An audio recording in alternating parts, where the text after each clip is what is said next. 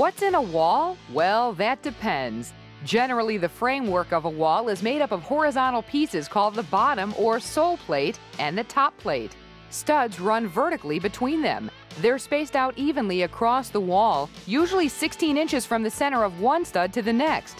Additional framing and headers are needed for stability around windows and doors.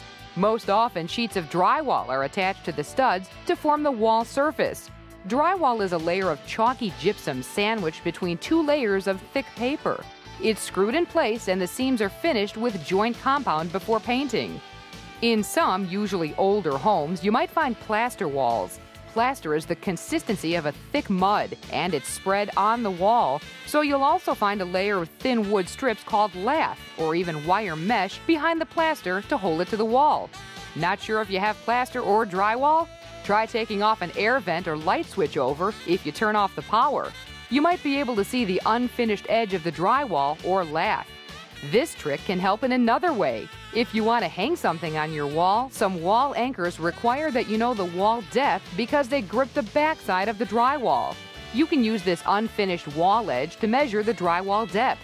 Or you can use an anchor like this stud solver from E-Z Ancor that grips right into the drywall. For plaster walls, use a molly bolt. This type of anchor needs to be carefully pre-drilled. It expands behind the wall as you tighten the screw. Be careful not to crack the plaster. Now you'll never look at your walls the same way again.